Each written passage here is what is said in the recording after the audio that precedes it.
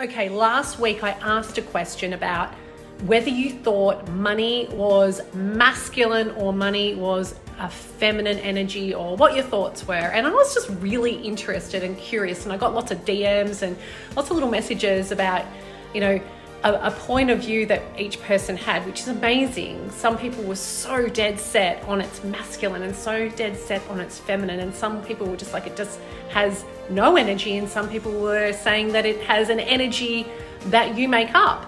And what I have found, and I wanted to come on here and share it, is that when I see it as a masculine energy, and if I'm thinking of the law of polarity, that when I am more in my feminine, as in I am not um, being so obsessed with it. I'm not being stressed over it. I'm not telling it what to do. I'm not that partner who's ringing up and saying, Where are you? Um, you need to do this. You need to do that. Why have you not done that for me?